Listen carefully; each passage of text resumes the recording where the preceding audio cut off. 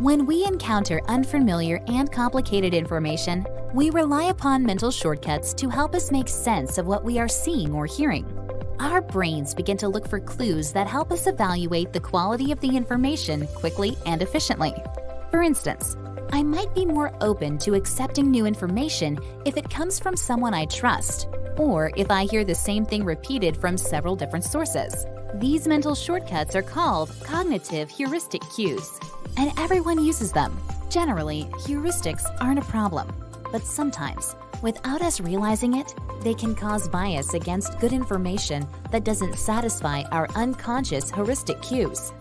This can be a big problem for public health communicators, especially when the heuristic cues that people use lead them to reject strong science and public health recommendations.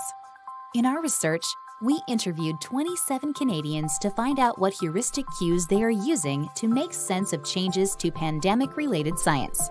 We asked, what sort of heuristic cues do people rely upon to make judgments about changing information about masks and vaccines?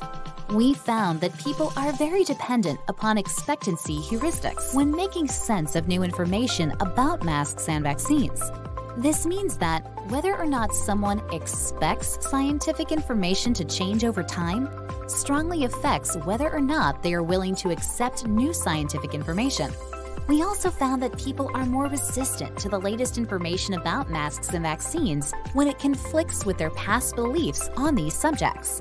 Understanding the role that expectancy heuristics play in how people make sense of scientific information can help public health communicators tailor their messages to the reasoning strategies of the public. Based on these findings, we make two recommendations. 1. Public health communicators should emphasize that science is constantly evolving to set the expectation that the best information could change in the future. 2.